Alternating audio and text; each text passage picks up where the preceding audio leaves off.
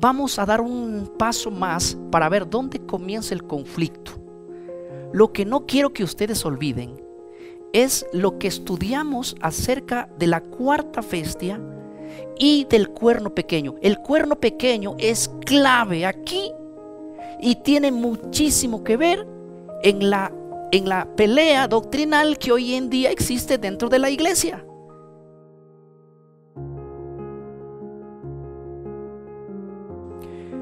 En el tema pasado pudimos ver cómo es que la Biblia, en los 330 veces del Nuevo Testamento que cita la venida del Señor, la segunda venida del Señor, claramente dice que Él en esa venida va a ocurrir lo que es el arrebatamiento de la iglesia. Yo soy el pastor Miguel Ángel Ortiz, pastor evangélico de la Iglesia Evangélica Mensaje Fiel en Lima, Perú. Hoy vamos a continuar. Si en todo el Nuevo Testamento.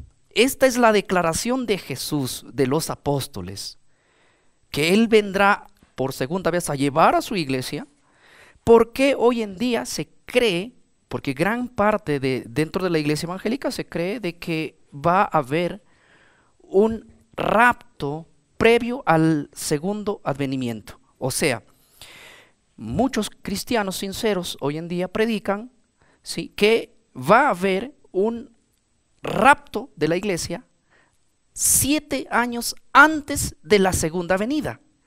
Hemos analizado en la Biblia, en el tema anterior, que todos los versos que hay en el Nuevo Testamento enfocan claramente, enfatizan claramente que el arrebatamiento de la iglesia sucederá en la segunda venida. Eh, les recomiendo ver el video pasado para entender esto. Pero, entonces, ¿por qué es que hoy se cree que el arrebatamiento de la iglesia sucederá siete años antes. Vamos a ir al origen de por qué hoy se cree así. Para entender este cuadro, primero tenemos que ir al capítulo 7 del libro de Daniel. Acompáñenme conmigo en el capítulo 7 del libro de Daniel. Daniel ve una de las visiones, estaba aconteciendo más o menos el año 553 antes de Cristo, cuando Daniel recibe una visión donde él ve cuatro bestias diferentes la una de la otra que surgen del mar. Estos cuatro poderes que Daniel ve surgir, en el mismo libro de Daniel indica que son poderes, reinos, imperios que se levantarían. Todo el secreto de por qué hoy en día muchísimos de nuestros hermanos creen que el Señor va a venir a llevar a la iglesia siete años antes de la segunda venida, o sea, va a haber una desaparición masiva de cristianos siete años antes de la segunda venida, todo radica aquí. Y vamos a entrar a la raíz para encontrar y solucionar el asunto. En Daniel capítulo 7 dice así el verso número 2. Daniel dijo, miraba yo en las visiones de la noche, aquí las cuatro de los cuatro vientos del cielo que combatían entre el gran mar, y cuatro bestias grandes diferentes, la una de la otra, subían del mar. Me centro en la primera. La primera era como león y tenía alas de águila. vamos a identificar aquí, ya que simplemente quiero enfatizar en que hay cuatro diferentes bestias. Cuando nosotros vamos a Daniel, el capítulo 2, a partir del versículo 35 en adelante, ustedes van a ver que la primera bestia es representada al imperio de Babilonia. Una bestia significa un poder que se levantaría de la tierra, ¿sí? que se levantaría dentro de las poblaciones, porque la Biblia dice que esta primera bestia surgió del mar. Mar, en Apocalipsis 17, significa aguas, naciones, tribus, lenguas y pueblos. Así que el primer poder que surge aquí es el poder de Babilonia. Este poder fue un poder muy grande en la época, un poder que las fuentes históricas nos demuestran.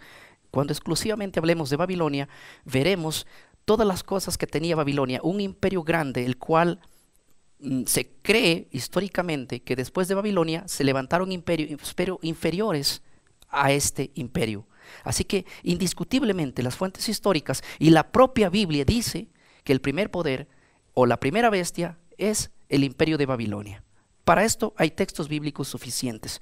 Pero en, Isaías, el capítulo 13, eh, el verso 19 en adelante, ustedes van a encontrar que Dios dio una profecía con respecto a Babilonia, diciendo que iba a ser destruida y para siempre iba a ser destruida, no simplemente una destrucción eh, que iba a ser una destrucción pues eh, parcial, sino nos habla de una destrucción total.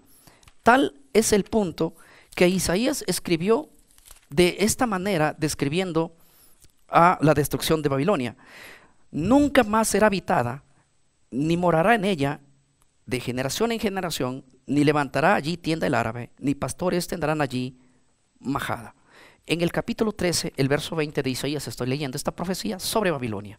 Así que Babilonia fue destruido, claro que sí, por un imperio que vendría después de ellos. Ahora, cuando ustedes ven en las fuentes históricas quién es el poder que destruyó a Babilonia, el único poder que destruyó a Babilonia, según las fuentes históricas, es un imperio de Medo y Persa unidos.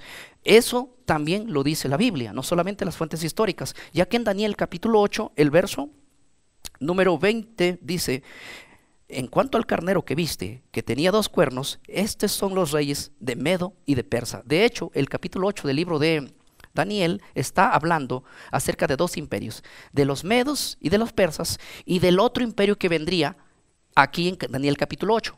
Pero en Daniel capítulo 7 vamos a leer también este imperio. Daniel 7 dice así el versículo 5. He aquí otra segunda bestia, semejante a un oso, la cual se alzaba a un costado más que el otro, tenía entre su, entre su boca tres costillas entre los dientes, y le fue dicho así, levántate y devora mucha carne. Se ve que el segundo poder se le entrega también dominio.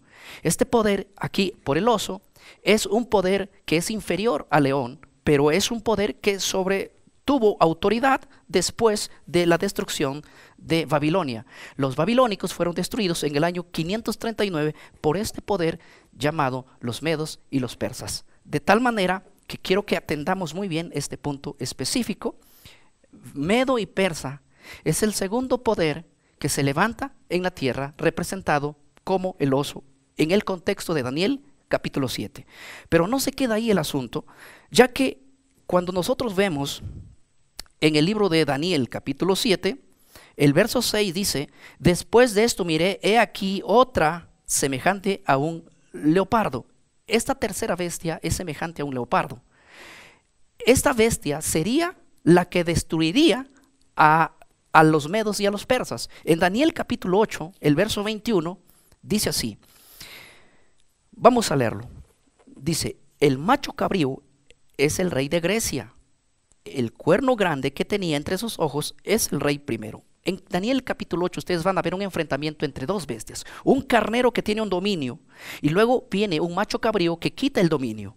Y el propio Daniel explica aquí en Daniel capítulo 8, 20 y 21 que el carnero representa a Medo y Persa y que el macho cabrío es el imperio de Grecia. Entonces ustedes van a ver que en la Biblia el que quita el poder a los medos y a los persas es el poder de Grecia. Dice la Biblia que aquí hay un personaje que tenía un cuerno grande, obviamente el macho cabrío, y ese cuerno grande representa al rey primero. Este rey primero fue el rey Alejandro Magno, quien se atrevió a desafiar en su temprana edad y con un ejército muy poderoso le quitó el poder al imperio de los medos y los persas. Es más, cuando ustedes van a las fuentes históricas, también dicen, las fuentes históricas demuestran que el poder que destruyó a los medos y a los persas fue el poder de Grecia. Esto aconteció, obviamente, en el año 331 antes de Cristo. Debo notar y decir que los años en la antigüedad se contaban de una manera ascendente, decreciente. Ahora, yo quisiera decirles algo importante que me quiero centrar aquí.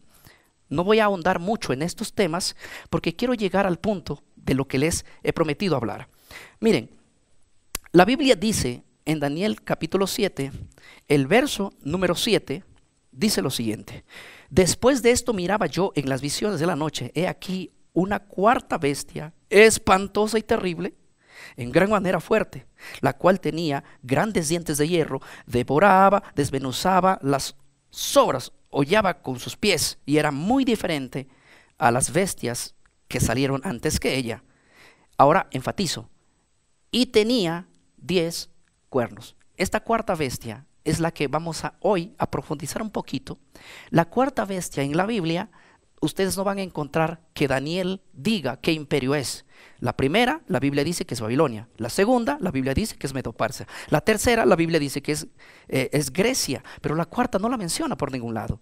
Pero no existe eh, dentro del mundo evangélico, dentro de nuestros institutos bíblicos evangélicos, que haya debate sobre esto, ya que todos hemos llegado a la conclusión de que la cuarta bestia es Roma. ¿Por qué razones? Hay varias razones. Esto no se debate dentro de los institutos bíblicos, aunque la Biblia no mencione cuál es el cuarto poder con nombre, nosotros podemos ver por los rastros históricos de que el único poder que destruyó a los medos, a los persas, fue, Grecia, y el poder que destruía Grecia es nada más y nada más, menos que el imperio de Roma.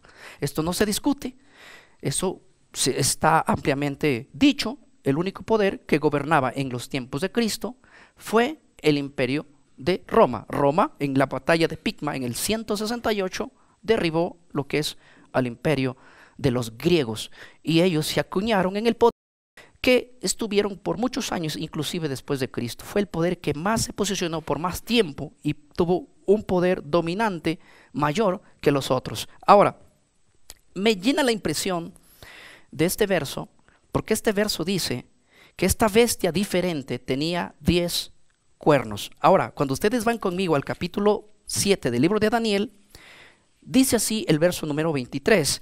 La cuarta bestia es un cuarto reino en la tierra, el cual será diferente de los otros reinos y tendrá poder sobre toda la tierra. Es lo que está diciendo el verso 23, porque trillará, despedazará. Eso significa de que es un poder dominante. Así que no hay duda que la cuarta bestia es un cuarto reino que es el imperio romano, pues que el imperio romano es el único imperio que tuvo el apogeo mundial después de derrotar a los griegos. Los, en el tiempo del siglo I, en el tiempo de Cristo, el único poder que existía era Roma. No existía otro poder. De hecho, los judíos estaban bajo la autoridad de Roma. De hecho, los judíos pagaban impuestos a Roma. De hecho, Cristo, para morir, fue autorizado por Roma. Entonces, no hay cabe duda de que el único poder después de la caída de Grecia es Roma. Así que esto no se discute y enfatizo en esto.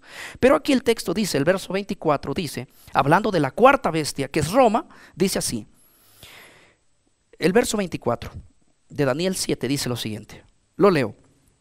Los diez cuernos significan que de aquel reino se levantarán diez reyes. O sea, ¿de dónde se levantarían diez reinos? De la cuarta bestia. Enfatiza esto muy bien. No podemos decir que ni de la primera, ni de la segunda, ni de la tercera saldrían diez cuernos, sino de la cuarta. Porque el texto está diciendo en el verso 23, la cuarta bestia es un cuarto reino. El verso 24, de aquel reino se levantarán diez reyes. La cuarta bestia que tenía diez cuernos significan aquí en la propia Biblia, explica explícitamente diciendo que de la cuarta bestia se levantarían diez reinos. Y esto ocurrió históricamente, ocurrió en Roma después del año 476. Roma, después, 476 después de Cristo, Roma fue invadido por las tribus bárbaras, las tribus germánicas, llamémoslo como las tribus salvajes, lo que sea. El detalle es que a Roma la invadieron y la debilitaron tanto al punto de fraccionarlo en 10 grupos de poderes. Eran los poderes que eran los suevos, los visigodos, los anglosajones, los francos, los alemanes, los burgundios, los lambardos, los érolos, los vándalos y los ostrogodos. Eran 10 poderes que formaban la antigua Europa en los años del siglo V. Por lo tanto, el detalle no se queda ahí, sino que el texto que dice e impresiona es el texto 24 aún. La parte de abajo dice lo siguiente. Y los diez cuernos significan que de aquel reino se levantarán diez reyes. Y ya expliqué ese detalle. Y tras ellos se levantará otro, el cual será diferente de los primeros. Y a tres reyes derribará. Esta es la parte que quiero enfatizar. Y tras ellos, ¿tras quiénes? Tras esos diez, se levantará otro. Diez más uno es igual a once. Estamos hablando que se levantaría de en medio de esas diez un poder más. ¿Sí? Ese poder derribaría a tres de los primeros, los dejaría con siete. Eso es lo que el texto está diciendo. Pero cuando vemos ustedes el contexto de este verso, hablando del cuerno pequeño en Daniel 7, su nombre aquí es el cuerno pequeño. Tiene algunas características. El cuerno pequeño aquí dice la Biblia, cuando ustedes leen este pasaje, que yo sé que van a hacerlo, dice que es un poder blasfemo, además es, es un poder que tiene ojos, evoca este cuerno pequeño, la cual en la Biblia significa ojos, que es sabiduría e inteligencia, astucia. Pero la boca que tenía específicamente fue para hablar blasfemias en contra de Dios. Ahora, quisiéramos nosotros analizar quién es este cuerno pequeño que surge dentro de las diez tribus bárbaras que fueron el resultado de la división de Roma. ¿Quién fue el que estuvo, por así decirlo, que surgió en medio de los suevos, visigodos, anglosajones, francos, alamanes, mongurdios, lambardos, érolos, vándalos y ostrogodos? ¿Quién fue ese poder? Y déjenme decirles que ustedes van a tomar la tarea porque lo que doy aquí es un resumen para que ustedes, como los hermanos de Berea, vayan a averiguar y luego vuelvan para confirmar lo que aquí estamos leyendo y al mismo tiempo enseñando. El único poder que surgió desde el año 476 fueron los 10 tribus, pero dentro de esos 10 tribus, históricamente, el único poder que dominó a la antigua Europa fue el poder de la iglesia que justamente se hace llamar la iglesia apostólica y romana. Fue el poder de la iglesia católica. No estoy hablando de mis hermanos católicos, estoy hablando del poder que dominaba la cabeza, la, la, fuente de dominio que tenía la iglesia, el cual ella puso autoridad sobre las diez tribus que existían en esa época. Pero tres de ellos se lo opusieron. En el año 493, cuando este cuerno pequeño, que lo dice la Biblia, y ya les dije quién es, quiso tener dominio sobre estas tribus, se la opuso primeramente los érolos. Pero el poder que estaba surgiendo, muy astuto, la derribó, según lo que dice Daniel 7:24, y a tres reyes derribará. Y déjenme decirles que en el año 493 después de Cristo, los érulos fueron extinguidos por ser un poder opositor a este cuerno que se había levantado para tener dominio universal. No solamente queda la historia allí, sino que en el año 534 también los vándalos se opusieron a este poder para no tener dominio sobre Europa, en la Europa antigua, Así que también se le encargó de hacer lo mismo que hizo con los, con los érolos. Así, destruyendo su poder, su reino, en el año 534, los vándalos fueron extinguidos. El último poder que se lo opuso fue en el año 538, los ostrogodos. Los ostrogodos también se lo opusieron a este poder, a este nuevo cuerno que estaba saliendo para dominar sobre los demás, pero también fueron destruidos en el 538 después de Cristo. Y les cuento algo interesante. Esa fecha fue la fecha cuando no hubo más oposición y se le dio la autoridad a este cuerno pequeño, a la iglesia que salía de Roma, una vez más aclaro, no a los miembros, no a la gente, sino al dominio de la iglesia. Entonces ellos recibieron autoridad en el 538 y gobernaron muchísimos años, que en otro tema vamos a entrar en detalle de este punto, cuánto es el tiempo que gobernaron, qué acontecimientos hubo allí. Por mucho tiempo gobernaron libremente sin la oposición de nadie. Este poder que surgía, yo quiero que ustedes sepan conmigo algo interesante. Cuando ustedes estudian Daniel capítulo 7, el verso 25, a este poder se le llama el cuerno pequeño en Daniel 24, en Daniel 25 del capítulo 7 se le llama el cuerno pequeño. Pero cuando ustedes quieren hablar de este, de este poder en el Nuevo Testamento, vamos a usar al hombre al que escribió más cartas. La mitad del Nuevo Testamento fue escrito por él, se llama el apóstol Pablo. El apóstol Pablo le llama en el libro de Segunda de Tesalonicenses, el capítulo 2, a este mismo poder, le llama el hombre de pecado. En Daniel capítulo 7 se le llama el cuerno pequeño. En Segunda de Tesalonicenses capítulo 2 se le llama el hombre de pecado. Así que cada vez que yo hable del hombre de pecado, estoy hablando del mismo poder que Daniel habló con diferente lenguaje, pero el poder es el mismo. Ahora, hay un detalle muy importante aquí. Un detalle que no vamos a dejar pasar por alto. Este mismo poder aparece en el libro de Apocalipsis con otro nombre, pero luego vamos a pasar allá. Vamos a transportar desde Daniel al libro de Segunda de Tesalonicenses cuando dice lo siguiente. Permítanme leerlo para que quede claro lo que vamos a ver y hacia dónde estamos enfocando. Segunda de Tesalonicenses, capítulo 2, dice así el verso 3. Nadie les engañe en ninguna manera, porque no vendrá sino que sin que antes venga la apostasía y se manifieste el hombre de pecado, el hijo de perdición, el cual se opone y se levanta contra todo lo que se llama Dios y es objeto de culto, tanto que se siente en el templo de Dios como Dios, haciéndose pasar por Dios. Verso número 8. Entonces se manifestará aquel inicuo a quien el Señor matará con el espíritu de su boca y destruirá con el resplandor de su venida. Inicuo cuyo advenimiento es por obra de Satanás con gran poder y señales y prodigios mentirosos. Este texto, Daniel ya lo había muchos años antes. Y ahora Pablo está hablando de este mismo poder que se levantaría en la tierra.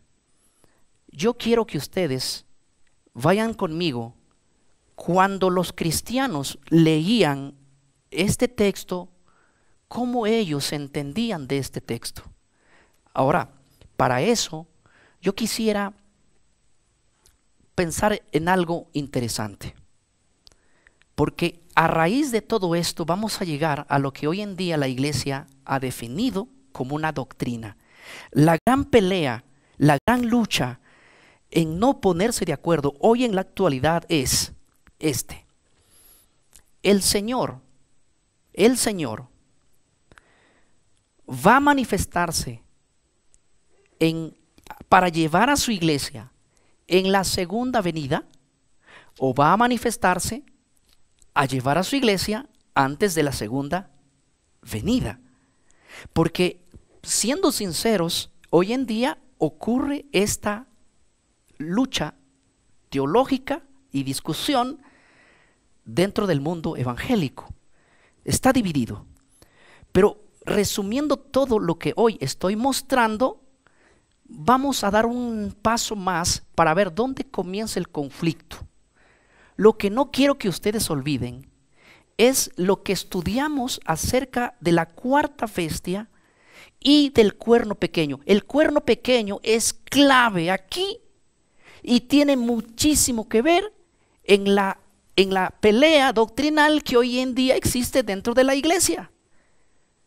Dos peleas en dos conceptos. Uno, ¿cuándo el Señor arrebatará a la iglesia? En su segunda venida. La otra pregunta, ¿cuándo el Señor arrebatará a la iglesia? Antes de su segunda venida. El otro es, el hombre de pecado, el cuerno pequeño, hombre de pecado, es lo mismo, ¿cuándo es que tendría su aparición? Antes que la iglesia sea arrebatada o después que la iglesia sea arrebatada? Estas dos preguntas hoy van a ser contestadas, pero escúchenme, no se pierdan ninguno de los detalles que vamos a hablar, porque el papel importante en este, en esta, en estas, en este, en este problema, que aparentemente es un gran problema, él juega un papel muy importante. Para eso vamos a usar textos claves, muy claves del cual yo quiero que ustedes apunten en sus Biblias. Ahora, vamos a hacer un análisis para responder la primera incógnita que tiene este conflicto. Sin, sin, sin omitir que no tenemos que olvidar al hombre de pecado o al cuerno pequeño, qué papel juega él en esta lucha. Primeramente, vamos a responder la primera pregunta.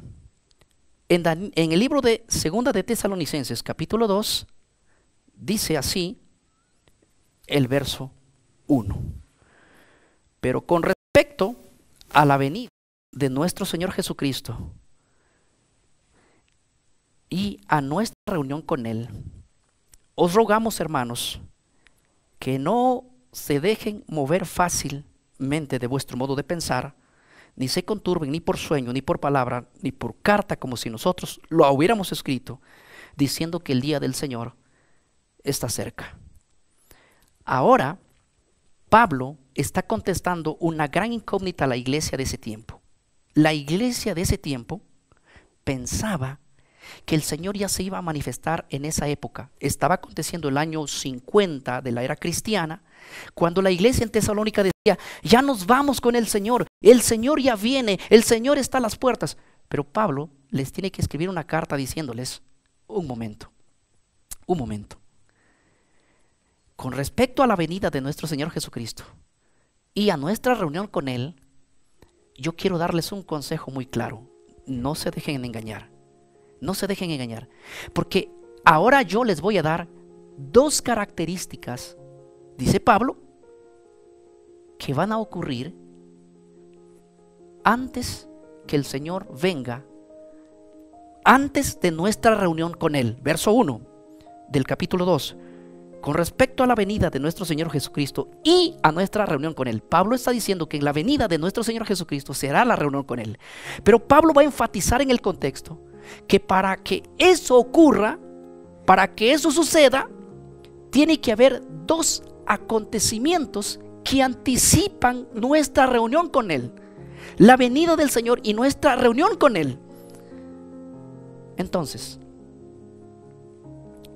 ¿cuáles son esas dos cosas que Pablo enfatiza que tienen que suceder antes que el Señor venga. Cuando la iglesia en el año 50 decía, nos vamos con el Señor, la misma historia de hoy.